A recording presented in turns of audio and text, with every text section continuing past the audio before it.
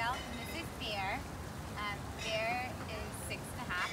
Um, so we brought him to training because um, over the past few years he just developed a behavior that wasn't, I guess, very promising. He would bark at people and things and um, we were kind of worried to take him out in public um, and then we kind of recognized that that was taking away from like the life that he could have with us. So um, it was kind of an impulsive decision. We were just like, yeah, let's do it. Like, we'll see. Like, it's a lot of money, but it's worth it. Like, fair is going to be worth it, and it's better than like anything we could have imagined. Like, Yeah.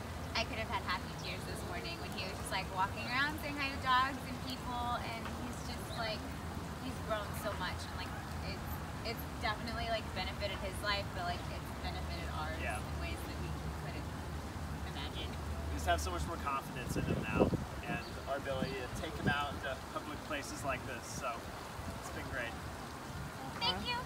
You're, it's like the best gift to us. That's great, guys. Well, thank you so much. Say bye, Bear. This is it. You're graduating.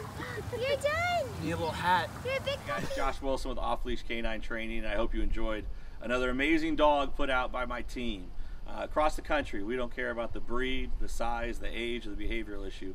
We're going to make them awesome for you. If you're interested in seeing more videos like the one you just saw, click the image here on the screen. Also, I'd encourage you to check us out on Instagram and Facebook.